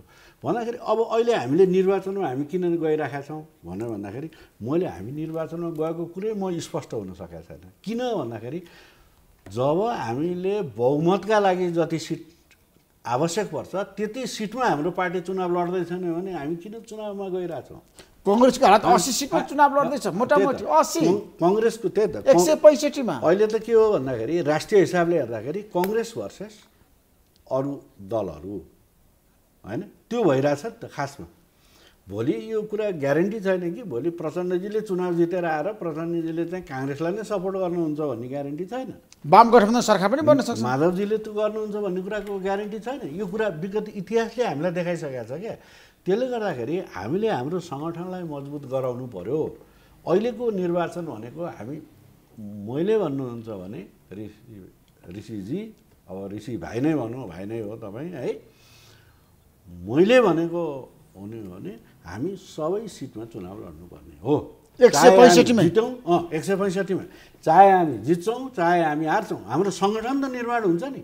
हाम्रो कार्यकर्तालाई हामीले सूर्य चिन्हमा भोट हाल अथवा हामीले अर्को चिन्हमा भोट हाल भनेर त भन्नु पर्दैन थियो। भन्दा सङ्गठनको जुन स्खलन हो नि सङ्गठन गर्ने जुन एउटा एउटा जुन प्रक्रिया हुन्छ त्यो प्रक्रियामा स्खलन त ल्यायो नि यसले। के ल्याउँदैन? भोकै ल्यायो। अब जस्तो मानिलिउँ मैले अस्ति सर्लाहीको साथीहरू भेटेँ। उहाँहरूले मलाई सिनियर साथीहरू है मसँग त यो नयाँ मान्छेहरूसँग त कुरा हुँदैन है। सिनियर साथीहरूले मलाई के भन्यो भने दादा अब जब हामी काङ्ग्रेसभित्रै बसेर हामीले अर्को पार्टीलाई भोट हाल्नुपर्ने हो भने हामी किन अर्को पार्टी जोइन नगर्ने? अब यो प्रश्न गरेँ यसको जवाफ मैले के दिएँ? चितवन कौनी लगातार अरू पार्टीलाई मतदान गरिरहेको छ। यसको जवाफ मैले दुईपल्ट रेणु दाहाललाई मतदान गर्यो अहिले प्रचण्डले गर्दैछ। भने अझै पनि समय छ। म त म त हाम्रो सम्मानित प्रधानमन्त्रीज्यू होइन जोसँग मैले उहाँसँग सल्लाहकार भएरै पनि काम गरेँ। तपाईँ शेरदेवको सल्लाहकार बसेरै काम गर्नु बसेरै काम गरेँ। म उहाँलाई अझै आग्रह के गर्छु भन्दाखेरि यदि नेपाली काङ्ग्रेसलाई टिकाउने हो भने एक सय पैँसठी सिटमै चुनाव लड्नुहोस्। म त त्यो देवालले भन्नुभएको छ गठबन्धन बिना म चुनावमा जान्न। गठबन्धनलाई बचाउँछु। प्रचण्ड र माधव नेपालसँग सहकार्य गर्छु। उहाँले मलाई प्रधानमन्त्री। बनाउनु भयो। ठिक छ सहकार्य गर्नुभयो। उहाँले निर्णय लिनु होला तर हामीले हाम्रो विचार त राख्नु पाइयो नि। यो मेरो व्यक्तिगत विचार। उहाँले राज राज राजनीतिक हिसाबले उहाँले पार्टीमा लिने विचार ठिक छ। आफ्नो पार्टीको उहाँले जे डिसिजन दिनुहुन्छ हामी पार्टीका कार्यकर्ता हौँ होइन? तर जुन निर्णय भइरहेछ त्यो निर्णय गलत हो भन्न त पाइएला नि। भन्न सक्नु तपाईँ? दलीय गठबन्धन। अब एकसाथ जानु कङ्ग्रेसको लागि दुर्भाग्य। कङ्ग्रेसको लागि यो यो कङ्ग्रेसको लागि भविष्यको लागि दुर्भाग्य। भविष्यको लागि दुर्भाग्य भविष्यको लागि। किनभने प्रतिस्पर्धक हामी- हुन्छ। हामी नेक्स्ट इलेक्सन लड्दाखेरि कसरी लड्ने? के नाममा लड्ने? हाम्रा फिलोसफी के हो? हाम्रो गन्तव्य कहाँ हो? ठिक छ एकपटक हामी सरकारमा नआउला। सरकारमा आउने मात्रै उद्देश्य लिएर तर लड्नु शेरबहादुर देवालले हुन्छ। भन्नुभएको छ पार्टी- निर्वाचन पछि पनि कङ्ग्रेसको नेतृत्व सरकार बनाउनु हेर्नुहोस्, पर्छ म यो कुरामा के म प्रधानमन्त्री बन्न चाहन्छु। गृहबाबुको म सचिव भएर पनि काम गरेँ होइन? तपाईँलाई थाहा छ त्यतिखेरदेखि नै हाम्रो सम्बन्ध थियो है। त्यतिखेर उहाँले गिरिजाबाबुले गठबन्धन गरेर चुनाव लड्ने अथवा गठबन्धनको सरकार बनाउँदाखेरि के हुन्छ भन्ने थाहा नभएर त्यो त्यसमा के हुन्छ भन्ने उहाँलाई अनुभव नभएर है गठबन्धनको सरकार हुँदा अनुभव नभएर उहाँले चाहिँ राप्रसँग राप्रपासँग नेपाली काङ्ग्रेस मिलेर सरकार बनाउनु पर्ने स्थिति आएपछि शेरबहादुर दाईलाई प्रधानमन्त्री बनाउनु भयो होइन? भन्दाखेरि उहाँलाई त के शेरबहादुर दाईले एउटा कुरा के ख्याल गर्नुपर्छ भने उहाँलाई जहिले पनि प्रधानमन्त्री हुँदाखेरि बाटो बडा सम्मानजनक बाटो दिएछ जहिले पनि छोड्दाखेरि हेर्नुहोस् एक्जिट शेरबहादुर दाईको एक्जिट जहिले पनि अपमानजनक भएको छ इतिहासले यो कुरा लेख्छ त्यसकारण अहिले शेरबहादुर दाई म पाँचौँ पटक प्रधानमन्त्री हुनुहुन्छ शेरबहादुर भाइ होइन पहिलोपटक प्रधानमन्त्री हुँदाखेरि पहिलो एकजनाले भोट नहालेर उहाँ सिद्धिनु भयो दोस्रोचोटि प्रधानमन्त्री हुँदाखेरि राजाले अयोग्य भनिदियो तेस्रोचोटि प्रधानमन्त्री हुँदाखेरि उहाँले राजीनामा दिनुभन्दा अगाडि केपी ओलीको नियुक्ति भयो। हेर्नुहोस् एक्जिट एक्जिट अनरेबल छैन शेरबहादुर दाईको। त्यस्तै अहिले शेरबहादुर दाईले सोध्नुपर्ने कुरा के हो भने म प्रधानमन्त्री त भएँ हिस्ट्रीमा म लिडर हुनु पऱ्यो शेरबहादुर दाई लिडर बन्नु छैन। तर फेरि पनि हम प्रधानमन्त्री बन्न चाहनुहुन्छ त गठबन्धन बनाएर जाँदा। होइन प्रधानमन्त्री बन्नु र लिडर बन्नु लोकेन्द्रजी पनि प्रधानमन्त्री हुनुभयो। सूर्यबहादुर पनि प्रधानमन्त्री भए यो ऊ आइसकेपछि हाम्रो बहुदलीय प्रजातन्त्र आइसकेपछि होइन? सूर्यबहादुरजी पनि प्रधानमन्त्री हुनुभयो लोकेन्द्रजी पनि प्रधानमन्त्री हुनुभयो फलानु पनि हुनुभयो लिडर त भएनन् नि। आत्मामा बस्न सक्नु पऱ्यो क्या। शेरबहादुर दाईले त्यो कुरा भुल्नु भएन। शेरबहादुर दाई भनेको हिजो नेभी सङ्घको सभापति हुँदा हाम्रो आत्मामा बसेको व्यक्ति गठबन्धन? आज हामीले के उहाँलाई आत्मामा फालिदिने परिणत हुन्छ। विभाजन हुन्छ गठबन्धन। सङ्कट आउँछ। सङ्कट पक्कै आउँछ। यसमा विवादै छैन। गठबन्धनमा चिरा चिरा पर्छ। मेरो राजनैतिक यदि तपाईँ किन तपाईँ राजनीति विश्लेषकको नाताले बताउनु मैले अब मैले पाँच छवटा किताब पनि लेखाएको छु तपाईँलाई थाहा छ। मैले राजनैतिक विश्लेषणको हिसाबले हेर्दाखेरि र मैले छिमेकी राष्ट्रहरूको राजनीतिको सन्दर्भहरूलाई हेर्दाखेरि यो गठबन्धन चाहिँ सफल हुनेवाला छैन। यो गठबन्धन बिचमै टुटफुट र विभाजनमा जान्छ। भोटै अन्त जान्छ नि। भोटै अन्त अन्त जान्छ। तपाईँ मलाई सुबिर खनाललाई तैँले चाहिँ यो हँसिया र हथौडामा भोट हाल भन्न हाल्छु र म पनि माग्दिनँ है हँसिया र हथौडामा भोट हाल्छु तर तपाईँ काठमाडौँ निर्वाचन क्षेत्रमा पाँचबाट उम्मेदवारी दिने तयारीमा हुनुहुन्छ। होइन म पाँचबाट होइन तपाईँको नाम सिफारिस भएको छ। एकाउन्न सालमा मलाई एकाउन्न सालमा मलाई टिकट दियो भए मैले काठमाडौँबाट म सातवटा त्यतिखेर सातवटा क्षेत्र थियो म कुनै पनि क्षेत्रबाट चुनाव जित्थेँ। होइन? राजनीति भनेको त के हुँदो रहेछ भने तपाईँको क्षमता त्यो शत्रु हुन्छ। जो मान्छे आज तपाईँ कहिले पनि टिकट नपाएर काङ्ग्रेसमा छ नि काङ्ग्रेस एकलव्य भएर हिँड्नु भएको छ। एकलव्य भएर हिँड्नुपर्ने र अनि त्यसपछि चाहिँ ऊ अहिलेसम्म टिकटै पाउनु भएन। पाइन त। अब पाउनुहुन्छ। टिकट यस्तो यस्तो हुँदो रहेछ क्या। एउटा कुरा के हुँदो रहेछ भने जो मान्छे अनुशासित हुन्छ नि म गिरिजाबाबु भए बेला म मन्त्री बन्छु गिरिजाजु भन्ने बनाइदिन्थ्यो नि। ल भयो त्यो कुरा छोडौँ। सुशीललाई भए बेलामा मलाई मैले मन्त्री बन्छु म सुशीललाई भने सुशीललाई बनाइदिन्थ्यो मलाई। अनि शेरबहादुरले तपाईँले किन विश्वास गरेर म यो उहाँसँग तपाईँ निकटबाट काम गर्नु सल्लाहकार यो संविधान निर्माण गर्ने बेलाको म राजनीतिक सल्लाहकार प्रधानमन्त्रीको। होइन त्यसलाई मैले यो संविधानलाई ओन गर्छु। तर त्यतिखेर के कुरा भएको थियो भने यो सुशील दाईले जस्तो अब कोही आएको थियो नि विदेशबाट मान्छेहरू आएको बेलामा सुशील दाईले के भन्नु भने सुरबाबु यो संविधान निर्माण गर्ने कुरामा हामी के चिज नगरौँ। दुई दुई दुईवटा निर्वाचनबाट होइन यो के के के के विधान भन्थ्यो त्यो? संविधान सभा होइन संविधान सभाको निर्वाचित भएर आएको पदाधिकारीले संविधान दिन सकेनन् भन्दा त नेपाल राष्ट्रको निर्वाचित पदाधिकारी सबैको बेजत हुने भयो त्यसकारण यो नगरौँ बरु संविधान पछि संशोधन गर्दै लैजाउँला गलत भएको भए यो संविधान चाहिँ लिएर आउनुपर्छ है? भनेर उहाँले उहाँ र मेरो छलफल भयो। होइन नेपाललाई संविधान दिने नेता त सुशील कोइराला हो नि त। आज हाम्रो बिचमा हुनुहुन्न। हुनुहुन्न होइन। उहाँको ठुलो योगदान छ। ठुलो योगदान छ। उहाँले पनि निर्वाचनमा उहाँ उहाँ पनि त जानु भएन नि यो। होइन तपाईँको कुरा शेरबहादुर देवालले सुन्नुहुन्न? खै शेरबहादुर दाईलाई त मैले भेट्यौँ भनेर मैले कतिचोटि फोन गरेँ खै रेस्पोन्सै हुँदैन। हामी त के गर्थ्यौँ? हामीलाई फोन आयो कुनै कङ्ग्रेसको लिडरको होइन? बाहिर जिल्लाबाट भन्यो भने हामी कल ब्याक गरेर त्यतिखेर मोबाइल थिएन नि। म प्रधानमन्त्रीको सचिव हुँदाखेरि मोबाइल थिएन। हामीले ल्यान्डलाइनबाट फोन गर्नुपर्थ्यो। ल्यान्डलाइनबाट इलाममा फोन गरेर ए हिमालजी तपाईँले अस्ति फोन गर्नुभएको थियो गिरिजाहरूलाई भेट्न भनेर तपाईँ आइहाल्नुहोस् है पर्सि। भने हामी त्यसरी खबर गर्थ्यौँ। अहिले त मैले फोन गरेँ भने तपाईँ को बोले? म सुवीर खनाल बोले भने को सुवीर भने भनेर सोध्छौँ। शेरबहादुर सचिवालय सचिवालय त्यस्तो छ। अनि कसरी शेरबहादुर सफल अब अब कसरी? ल भन्नु। समस्या त्यहाँ समस्या त्यहाँ। हो सचिवालय किन असफल सचिवालयले सुवीर खनाल भने को हो भनेर सोध्छ भने तपाईँ त्यसैमा प्रश्न चिन्ह लाउनुहोस् न ठुलो कुरो जानु पऱ्यो म त के सत्तरी वर्ष पुग्नुलाई मान्छे मलाई के म चाकडी गर्न गएर अब अब भन्नु न मैले कति कति मैले काङ्ग्रेसको लागि योगदान गर्ने त? र के का लागि गर्ने भन्ने प्रश्न आयो क्या? काङ्ग्रेसले सही काम गरेर भोलि काङ्ग्रेस जिन्दाबाद भनेर मान्छे बाहिर निस्कने भए भए मैले योगदान गरेको ठिक हुन्थ्यो। अब त्यो पनि अवस्था भएन। म तपाईँलाई म एउटा साधारण उदाहरण दिन्छु। सायद हामी एकचोटि छलफल पनि गरेका थियौँ बालबटारमै बसेर। गिरिजाप्रसाद कोइराला सचा अडचालिस सालमा प्रधानमन्त्री हुँदाखेरि हामी बाहिर जाँदाखेरि मान्छेहरू बाटा बाटामा अड्थे। अटेर नमस्कार गर्थे। गाडी क्रस गर्न दिन्थे। ताली बजाउँथे हात हल्लाउँथे। त्यो लेभलमा प्रधानमन्त्री एक्सपेक्टेसन पिपुलको के रहेछ त त्यतिखेर? अब अहिले प्रधानमन्त्री जाँदा ए त्यो गयो फलानु। त भन्छन् जनताले। कसरी हामी यो होइन प्रधानमन्त्रीप्रति नेताप्रति जनताको वितृष्णा किन? जनताको वितृष्णा किन? भने जनताको कुरै कहिले गरेर सुन्नुभएको छ? कुरा जहिले पनि। पार्टीको यो फलानु फलानु यसले माधव नेपालले यो भन्यो प्रचण्डले यो भन्यो यसले यो भन्यो। तपाईँले फलानु गरिब यसरी मरेछ। फलानुले खान पाएन फलानुले औषधि गर्नु पाएन फलानुले यो गर्नु पाएन भन्ने छलफल गरेर सुन्नुभएको छ। किन यस्तो हुन्छ भन्नुहोस् त? युवा पुस्ता काङ्ग्रेस असफल भयो? तपाईँको मैले आदरणीय सुबेर खनालका केही कुराहरू मैले सुने। सङ्गठनिक धरातल निर्माण गर्नका निमित्त उहाँका तर्कहरूसँग म सहमत छु। तर नेपाली कङ्ग्रेस अहिले वर्तमान अवस्थामा हामी तल्लो तहमा बसेर पनि करेन्ट पोलिटिक्समा छौँ र हामी केही समस्यामा छौँ। चौसठी सालको संविधान सभाको निर्वाचन पछाडि सत्तरी सालसम्म आउँदै गर्दाखेरिमा एउटा यस्तो परिस्थिति निर्माण हो जसले हामीले संविधान प्राप्त गर्न सकेनौँ। यो संविधान प्राप्त नगर्नुको मेन कारण के थियो त भन्ने कुरासँग अहिले धेरै खालि कोलिसनको स्टडी भएको छ। तर पछिल्लो समय के देखियो भने नेपाली कङ्ग्रेस र माओवादी केन्द्रको बिचमा गरिएको कोलिसनले चाहिँ रिजल्ट दिन सकेका छ। जसरी स्वर्गीय नेता गिरिजाप्रसाद कोइराला र पुष्पकमल दाल प्रचण्डको बिचमा बाह्र बुधे सहमति गरेर आइयो अथवा वृहत शान्ति सम्झौता गरियो। त्यसले एउटा निष्कर्ष दिन सकेका थियो।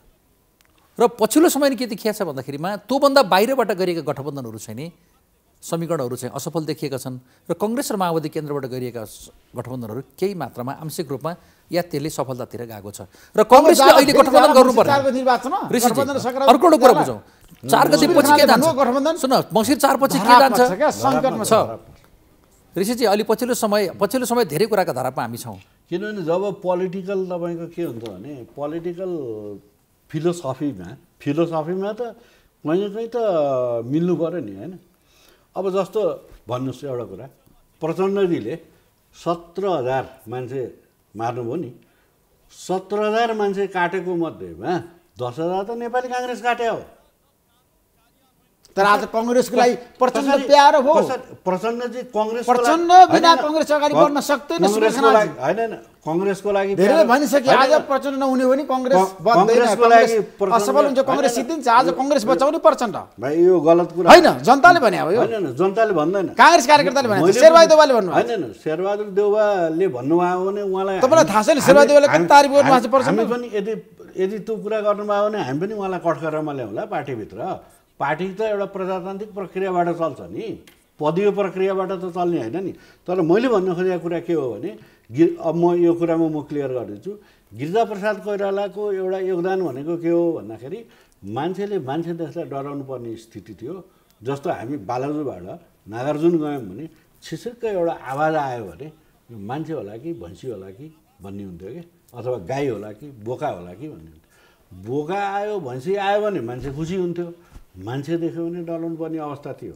त्यो अवस्थाबाट प्रचण्डसँग उहाँले सम्झौता गरेर मान्छेदेखि मान्छे डराउन नपर्ने परिस्थिति निर्माण गरे हो गिरिजाप्रसाद कोइराला यसलाई यसरी। यो योगदान उहाँलाई दिनुपर्छ। तर तर हेर्नुहोस् है तर प्रचण्डजीले अहिलेसम्म माफी पनि माग्नु भएको छैन जनता समक्ष मैले यति मान्छे काटेकै हुँ भनेर माफी पनि माग्नु भएको छैन। उहाँले मैले गल्ती गरेँ हुँ भनेर पनि भन्नुभएको छैन। उहाँ भ्रष्टाचारबाट पनि उहाँ भ्रष्टाचार गर्न पनि उहाँले छोड्नु भएन होइन? सम्पूर्ण जे जति देशको लागि गर्नुपर्ने गलत कुराहरू त सबै गरे मान्छेसँग कसरी उहाँले गठबन्धन तर आज प्रचण्ड चाहिएको छैन। प्रचण्ड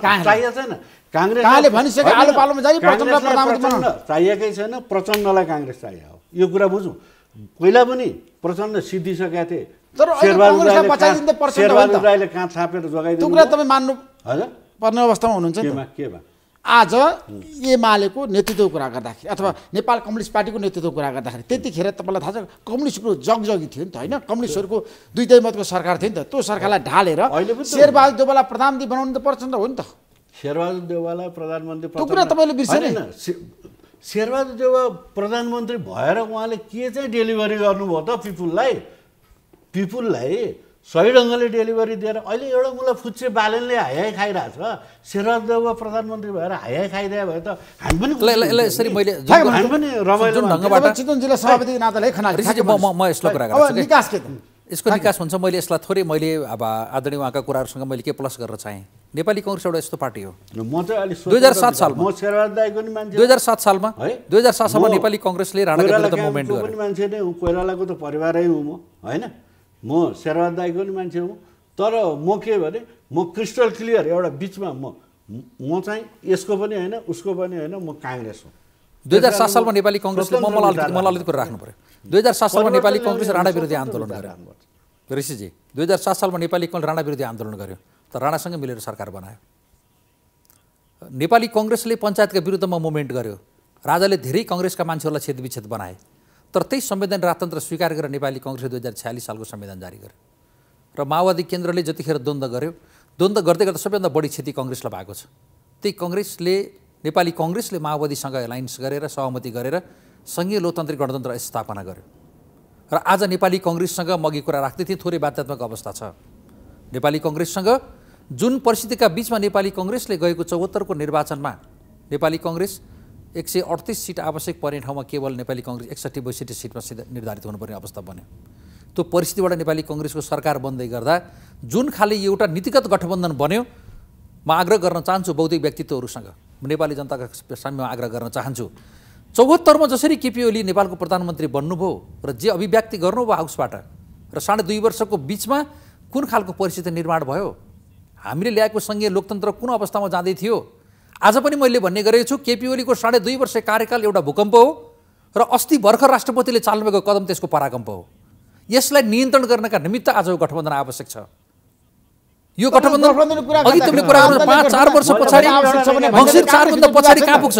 ऋषिजी मङ्सिर चारभन्दा पछाडि कहाँ पुग्छ आफ्नो ठाउँमा छ? तर लोकतन्त्र भित्तका प्रतिगमनकारी शक्तिहरूलाई एक निश्चित साइजमा राख्नका निमित्त यो नेपाली आवश्यक छ। कङ्ग्रेसले आवश्यक छ छैन। नेपाली कङ्ग्रेस जुन अहिले। साइजमा छ नि ऋषिजी नेपाली जुन साइजमा छ नि एकैचोटि अब नेपाली कङ्ग्रेस फिफ्टी वानमा पुग्न सक्ने अवस्थामा छैन कङ्ग्रेस एक्लै चुनावमा जान सक्दैन जानुपर्छ म अब चाहिँ यसलाई जानुपर्छ। यसरी लिएर जाउँ। यसलाई यसरी लिएर अब जाउँ। कसको आवश्यकता कति भन्ने कुराको बारेमा अब निर्वाचनको मुखमा हामी जाँदैछौँ मतदाताका बिचमा जाँदै म- गर्दा कसको आवश्यकता कति म व्याख्या गर्न चाहन्न? अब तर आवश्यकता। आवश्यकता प्रत्येकको होला। मैले पटक मैले भन्ने गरेको छु। कुरालाई म मैले अलिकति अलिकति है। आज पनि मेरो एउटा। समर्थन गर्दै म एउटा उदाहरण दिन्छु। आज पनि मेरो माओवादी केन्द्र र समाजवादी साथीहरूसँग मेरो आग्रह एउटा छ। उदाहरण दिन्छु। तिमीले भनेको कुरालाई तपाईँहरू। बढी सिट काङ्ग्रेससँग लिने हो कि बढी सिट जनताबाट जित्ने हो? आजको लडाइँ के हो गठबन्धनको लडाइँ आजको सिट चाहिँ के भने हामीले कङ्ग्रेससँग बार्गेनिङ गरेर बढी सिट लिने प्रयत्नमा तपाईँहरू हुनुहुन्छ कि बढी सिट जनताबाट जित्ने प्रयत्नमा हुनुहुन्छ? यदि गठबन्धनलाई मजबुत बनाउने हो भने त जनताबाट जित्ने उम्मेदवार दिनु। ए, ल ठिक छ। अब म राजेश्वरजीले भनेको कुरामा म आंशिक समर्थन गर्दै एउटा म ऐतिहासिक कुरा गर्छु है। गिरिजाप्रसाद कोइरालाले मलाई के भन्नुभयो भने हाम्रो त्यतिखेर यो घोडे जात्रा घोडे जात्राको कार्यक्रम थियो। त्यतिखेर सब सम्पूर्ण शक्तिहरू दरबारमा केन्द्रित थियो नि। वीरेन्द्र हुँदाखेरि त अहिले जस्तो त थिएन। शक्तिहरू दरबारमै केन्द्रित थियो। हामी आन्दोलनबाट आइयो। अब त्यो राजदरबारमा भएको शक्तिलाई हामीले यता ट्रान्सफर पऱ्यो पार्लियामेन्ट्री सिस्टममा प्रधानमन्त्रीय पद्धतिमा हामीले ट्रान्सफर गर्नुपर्ने थियो। होइन? शक्ति त त्यही थियो। अब घोडा यात्रामा त्यो सिट अगाडि राख्ने बेलामा एक महिना एक्सर्साइज पऱ्यो प्रधानमन्त्रीलाई अगाडि राख्नलाई।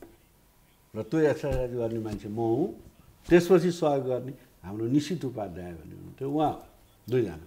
हामीले अनेक खेल खेलेर त्यहाँ ल्यायौँ।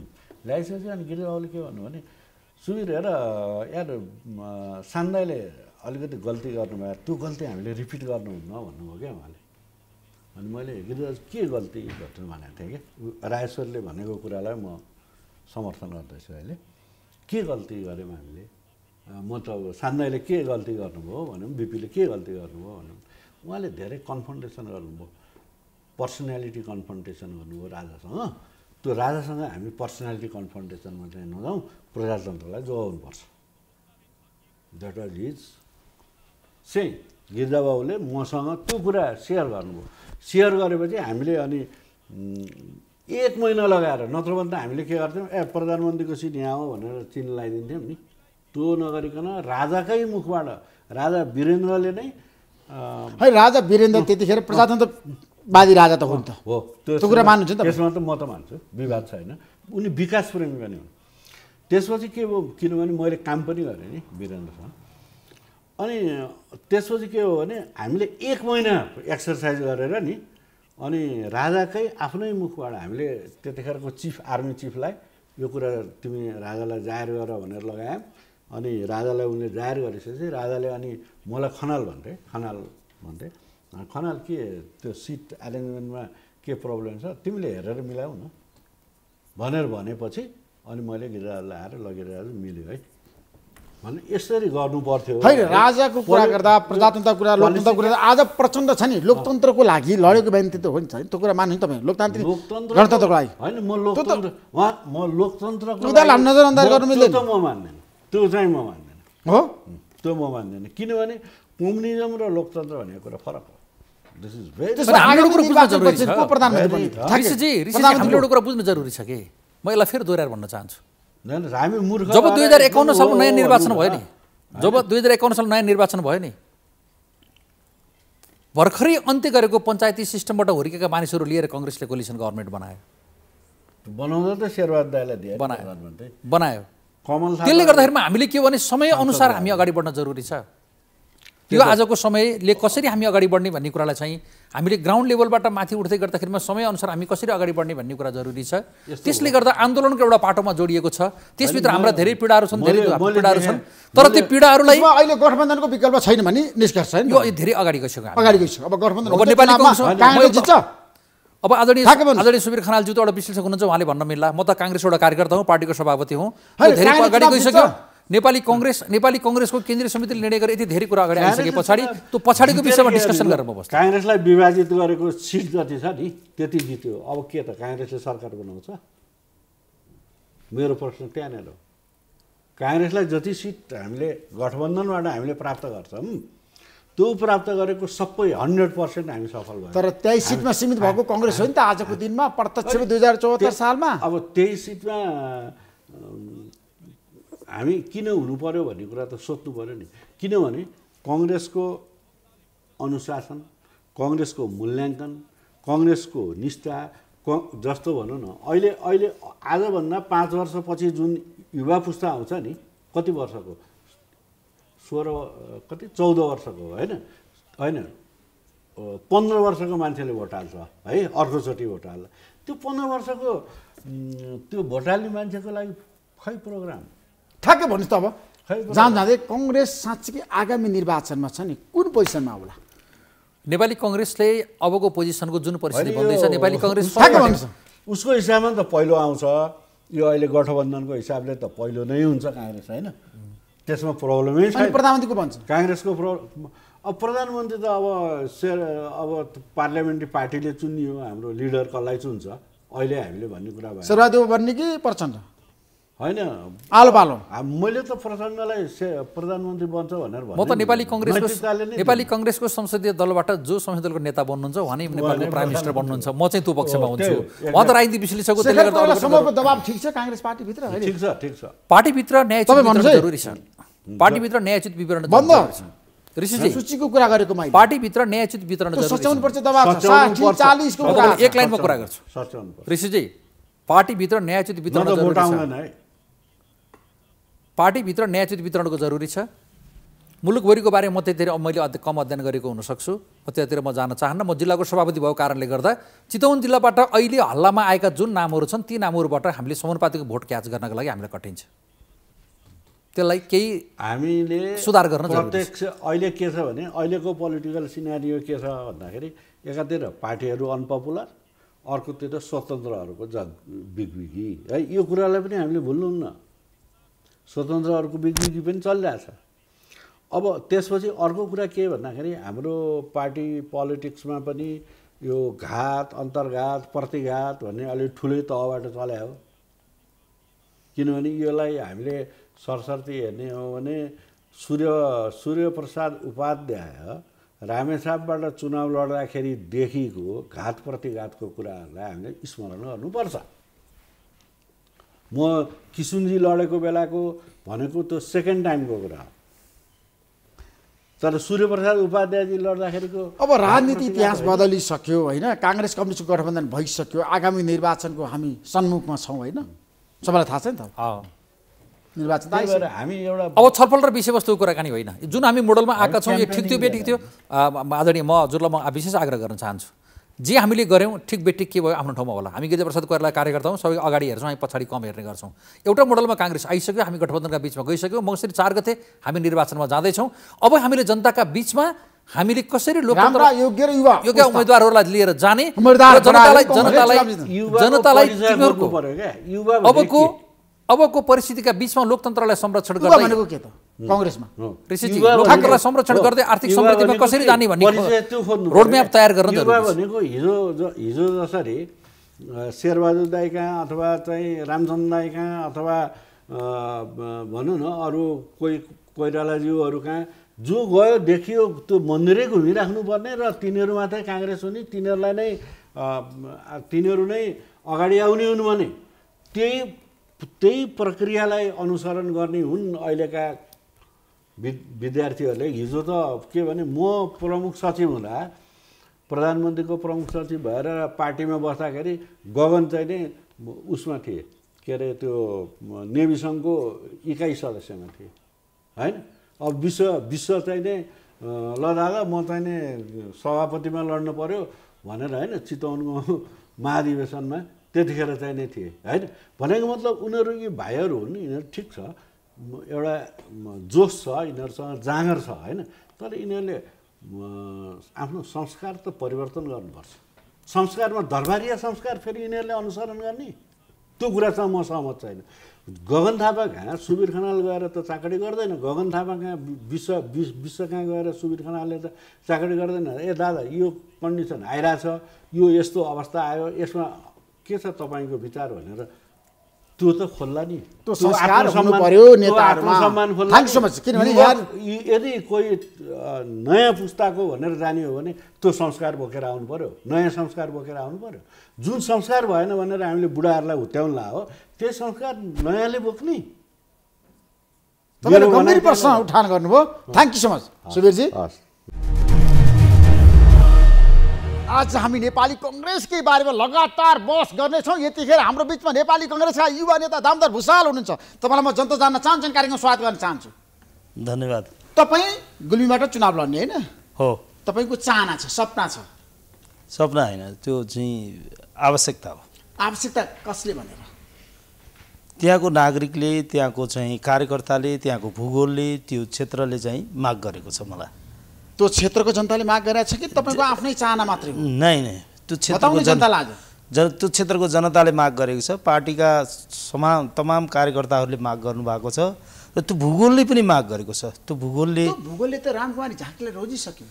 छैन त्यो चाहिँ रामकुमारजी गठबन्धनको तर्फबाट म हुँ भनेर आउनु भएको हो तर रामकुमारजीलाई चाहिँ भूगोलले मागे होइन।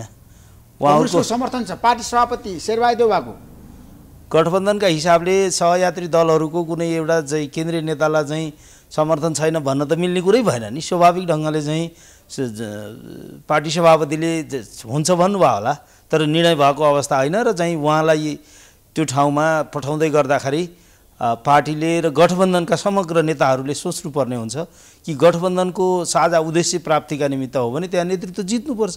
जित्नका निमित्त त्यहाँ काम गरेको जनजनमा पुगेको भेटेको सबै हिसाबले पार्टीले गठबन्धनले उम्मेदवार बनाउनु भनेर घोषणा गरिसक्यो होइन? प्रधानमन्त्रीले त साथ दिइसक्नुभयो अनि तपाईँ भनिरहनु भएको छ म उम्मेदवार हो भनेर। नै मेरो पार्टी के गर्नु भएको छ यो त? रिजल्ट त सार्वजनिक भएको छैन। मेरो पार्टीले क्षेत्रीय समितिले जिल्ला समितिले प्रदेश समितिले म लगायतका अरू दुईजना साथीहरूलाई प्रस्तावित गरेर पठाएको र त्यसमा पनि युवा अहिलेको समयअनुसारको युवा र चाहिँ पटक पटक परिचित एकपटक पनि परिचित हुन नपाएको त्यो क्षेत्रमा चाहिँ लामो समय काम गरेको महाधिवेशन महासमिति क्षेत्रीय सभापति हुँदै त्यो क्षेत्रमा नवीन ढङ्गले काम गरेका हिसाबले तपाईँले केही पनि काम गर्नु भएको छैन। तपाईँ काठमाडौँ बसेर नेताहरूको चाकरी गरी मान्छे दामोदरजी यो मैले चिनेको अब ऋषिजीले कुन सन्दर्भमा ल्याएर भन्नुभयो मलाई थाहा छैन। मैले नेभी सङ्घको केन्द्रीय सदस्य विदेश विभाग प्रमुख सोभि सभापति हुँदा काठमाडौँ बसेँ होला। त्यो पछाडि म काठमाडौँ नै बसेको छैन। म नित्यान्तै क्षेत्रमा बसेर जिल्लामा बसेर काम गरेको छु र पछिल्लो पटक केही समय म चाहिँ बुटोल बसेर काम गरेँ। तर कि म अधिकांश समय मेरो जिल्लामा रहेको छ र त्यो जिल्लाको त्यो क्षेत्रको विकासका निमित्त म अहोरात्र खटिरहेको छु। त्यहाँको नागरिकहरू विशेष गरिकन कङ्ग्रेस झन्डै तिस वर्षदेखि त्यहाँ राष्ट्रिय राजनीतिमा काङ्ग्रेसको राष्ट्रिय नेता छैन त्यो भएको हुनाले चाहिँ सबै आम कार्यकर्ताहरूले चाहिँ तपाईँले एकपटक टिकट लिएर हाम्रो चाहिँ जितको एहसास जित्दाखेरिको अनुभूति हामीलाई गराइनुपर्छ। काङ्ग्रेसले छोड्नु हुँदैन तपाईँले छोड्नुहुन्न भन्ने खालको तमाम साथीहरूको चाहिँ आग्रह छ। त्यही आग्रहलाई लिएर म फेरि पनि नेतासँग मैले योभन्दा पहिला पनि कुरा गरिसकेको छु। तपाईँ चाकरी गर्ने माहिर हो नो, नो, दामोदरजी होइन? तपाईँ शेरबहादुर कहाँ जानुहुन्छ? तपाईँ शेरबहादुर देउवाको मान्छे हो नि त। शेरबहादुर देउवाको मान्छे मैले अस्तिको कार्यक्रममा पनि यहाँलाई केही सन्दर्भमा भनेको थिएँ। म पार्टीको मान्छे म चाहिँ तपाईँको पार्टीको नेतृत्वका प्रति त स्वाभाविक ढङ्गले सबै कार्यकर्ताहरू नेतृत्वको चाहिँ विरोधी हुन सक्दैनन् चाहिँ र सभापतिलाई मान्नु भनेको चाहिँ पार्टीलाई मान्नु हो त्यस भएको हुनाले त्यसलाई शेरबहादुरकै मात्रै मान्छे भनेर म शेरबहादुर देउवा सभापति हुनुपर्छ भनेर हिँडेको मान्छे चाहिँ हो। र शेरबहादुर देउवा सभापति हुँदै गर्दा मुलुकले चाहिँ केही कुराहरूमा प्रगति पनि गरेको छ। केही कुरामा चाहिँ स्टेबल पोलिटिकल सिस्टमका निमित्त योगदान भएको छ। पार्टीको इन्टरनेसनल छवि बढेर गएको छ। मुलुकमा निर्वाचन मात्रै भएर एउटा स्थानीय तहहरू निर्माण भएर लोकतान्त्रिक गणतन्त्रलाई स्थानीय तहसम्म संस्थागत गर्ने प्रक्रिया अगाडि बढेको छ र भलै त्योभन्दा पनि धेरै काम गर्न सकिन्थ्यो गर्नु पर्थ्यो। गठबन्धनलाई नवीन ढङ्गले लिएर जानु पर्थ्यो। गठबन्धन भन्ने जहाँ काङ्ग्रेसको अत्यधिक मत छ त्यो ठाउँमा थोरै मत भएका ठाउँमा गठबन्धनका नाममा अन्य गठबन्धनका चाहिँ सहयात्रीहरूले पनि टिकट माग्नु भएन त्यो कुरोलाई पार्टीले अ- अक्षरशः चाहिँ मूल्याङ्कन गरेर वस्तुस्थितिलाई इभालुएसन गरेर निर्णय गर्नु पर्थ्यो पछिल्लो पटक केही हतार चाहिँ गरे जस्तो देखिन्छ तर निर्णय भएको छैन र म विश्वस्त छु कि पार्टीले मेरो पक्षमा निर्णय गर्छ गठबन्धनले मेरो पक्षमा त्यसमा निर्णय गर्छ। रामकुमार झाकी विरुद्ध तपाईँ विद्रोही उम्मेदवार दिने। विरुद्धको कुरोकानी होइन? मलाई लाग्छ चाहिँ त्यो उहाँको त्यति सहज अवस्था होइन। कि त्यही भएर चुनाव जित्न सक्नुहुन्न। उहाँको अवस्था। अब मैले गठबन्धनको उहाँको अवस्था अत्यन्त कमजोर छ।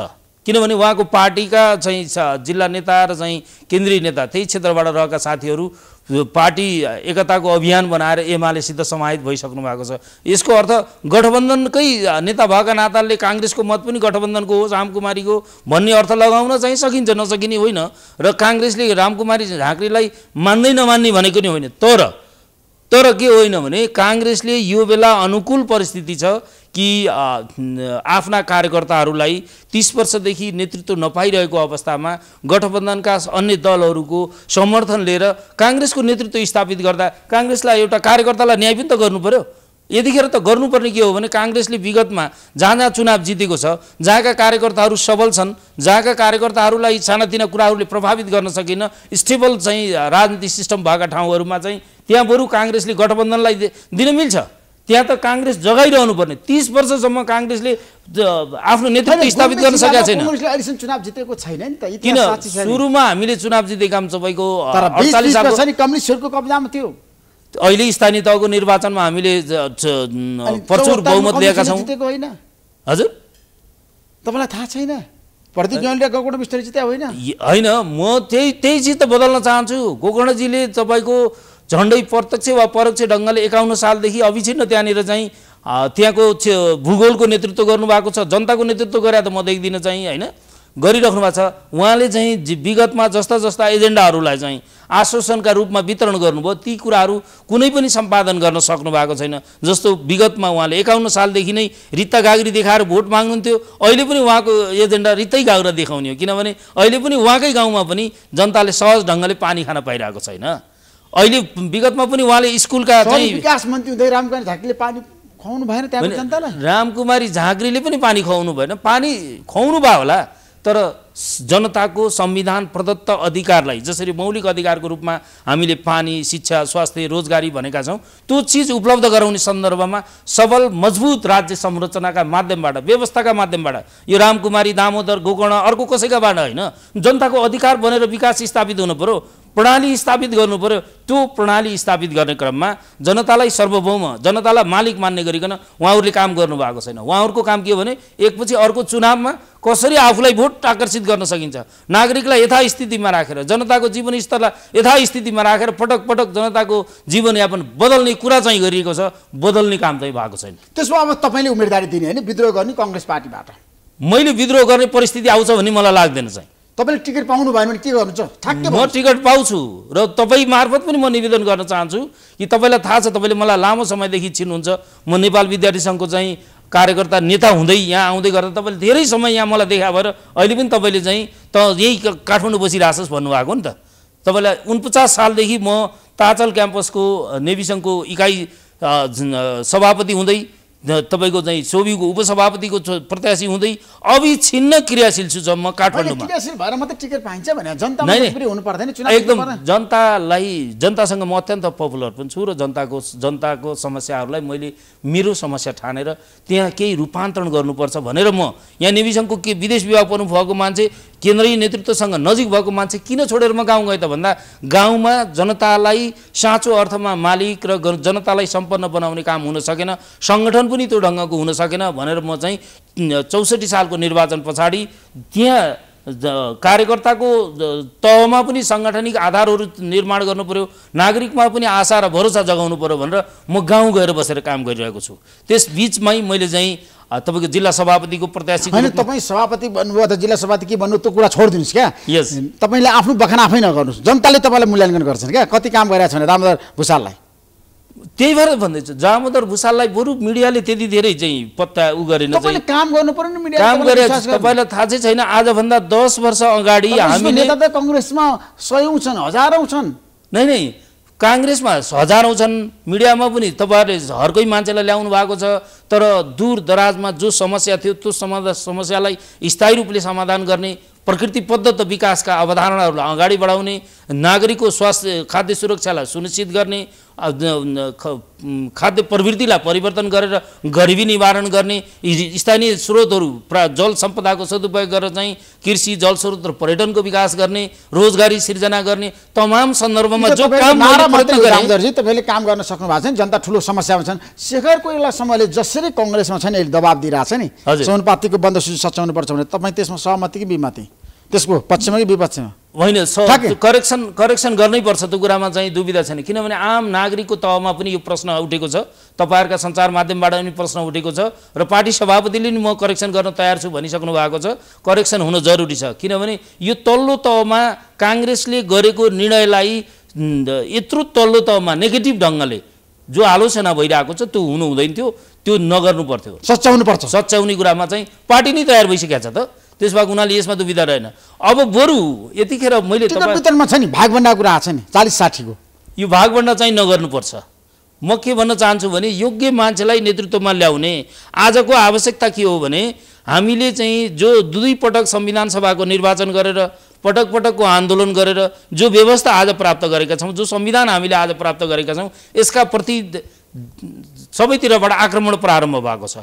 यसो भएको हुनाले राजनीतिक दलले आफ्नो वस्तुस्थितिलाई वस्तुपरक ढङ्गले विश्लेषण गरेर म सत्तामा छु र मैले मेरो अनुकूलको चाहिँ मान्छेलाई उम्मेदवार बनाउँछु भन्दा पनि को मान्छेले त्यो भूगोलको नेतृत्व गर्न सक्छ? को मान्छेले जनताको नेतृत्व गर्न सक्छ? को मान्छेले संविधानको रक्षा गर्न सक्छ? को मान्छेले व्यवस्थालाई मजबुत हुने काम गर्न सक्छ? योग्य इमान्दार अनुभवी शैक्षिक रूपमा नैतिक रूपमा सक्षम मान्छेहरूलाई चाहिँ नेतृत्वमा ल्याउनुपर्छ र यस सम्बन्धमा चाहिँ म पार्टी नेतृत्वसँग केही प्रस्तावहरू पनि राख्नेवाला छु यो बेला ठ्याक्कै के प्रस्ताव राख्नेवाला जानु म म म के भन्न सबै राजनीतिक दल र विशेष गरी मेरो पार्टीलाई मेरो पार्टीलाई मेरो एउटा नवीन प्रस्ताव के छ भने हाम्रो पार्टी लामो सङ्घर्षबाट आएको पार्टी थुप्रै कार्यकर्ताहरूको पङ्क्ति रहेको पार्टी सबै कार्यकर्ताहरूमा हामीले स्वतन्त्रताको पाठ सिकाउँ स्वाभिमानको पाठ सिकाउँ सबै मान्छेलाई समान अवसरको कुरा हामीले पठायौँ भने अब पार्टी यतिखेर चाहिँ एउटा चाहिँ स्थानीय निर्वाचनको बाट पनि लेसन लर्न गरेर स्वतन्त्रहरूको पक्षमा आएको जनलहर युवाहरूमा आएको जनलहर र परिवर्तनको पक्षमा आएको जुन लहर छ त्यसलाई आत्मसात गर्दै यतिखेर काङ्ग्रेसभित्रको समग्र कलहलाई पनि व्यवस्थापन गर्नका निमित्त अन्तर्द्वन्द्वलाई पनि व्यवस्थापन गर्नका निमित्त मैले पावर होलिडीको सिद्धान्तलाई अगाडि सारेको छु। पावर होलिडे भनेको के भन्नु एकदम म ठ्याक्क भन्दैछु। ऋषिजी कि हामीले तपाईँको काङ्ग्रेसका दुई पटक सांसद भइसक्नुभएका मन्त्री भइसक्नुभएका साथीहरूलाई यो पटक यो टर्ममा पावर होलिडेमा राखेर युवाहरूलाई प्रयोगमा नआएका परीक्षणमा नआएका व्यक्तिहरूलाई चाहिँ सांसद बनाऊ अथवा चाहिँ उम्मेदवारको रूपमा प्रस्ताव गऱ्यौँ भने जो जो वि जो द्वन्द्व छ नि बाहिर त्यो सबै द्वन्द्व चाहिँ समाधान गर्न सकिन्छ। तसर्थ अहिले के होइन ठिक छ अनुभवका रूपमा हामीलाई चाहिँ पाँच सात पर्सेन्ट सिनियर मान्छे चाहिन्छन् भने ल्याउँ होइन भने अब तपाईँको काठमाडौँको निर्वाचनबाट लेसन लर्न गर्नु पर्दैन। हाम्रो त्यति सिनियर चाहिँ उम्मेदवारले हार्दै गर्दा यङ उम्मेदवारले चुनाव जितेर स्वतन्त्रले चुनाव जितिरहेको अवस्थालाई हाम्रो पार्टीको हरेक नेताले वस्तुपरक विश्लेषणको आजको आवश्यकता हो र त्यही आवश्यकताको आधारमा उहाँहरूले सबै तहमा सबै तहमा नयाँ मान्छेहरूलाई अहिले परीक्षणमा ल्याउनुपर्छ। किनभने उहाँहरू यो म सक्न चाहन्छु ऋषिजी म सक्न। उहाँहरू यो व्यवस्थाको सर्जक हो। यहाँ उहाँहरू यो व्यवस्थाको निर्माता हो। मदर अभिभावक हो त्यस भएको हुनाले उहाँहरूले जसरी एउटा कथा थियो नि चाहिँ आज एउटा बालकको चाहिँ म थोरै भन्न चाहन्छु दुईवटा आमा एउटा एउटा आमाको सन्दर्भमा एउटा बालकलाई कसको छोरा हो कला छोरा दिने भन्ने सन्दर्भमा न्यायाधीशले ल्याएको एउटा कथा छ नि तपाईँलाई चाहिँ। जो आमाले बच्चा पाउनुभयो उहाँले चाहिँ छोरा बराबर गर्नुपर्छ भन्ने सन्दर्भमा उहाँले चाहिँ बरु छोरा चाहिँदैन भनेर छोडे जस्तै आज कङ्ग्रेसले यो व्यवस्थाको जननी भएका नाताले कङ्ग्रेसका नेतृत्वले विशेष गरिकन नेतृत्वले आफू पावरभन्दा बाहिर रहेर पनि यो पर यो पटक पावर होलिडेका नाममा यङ साथीहरूलाई स्थापित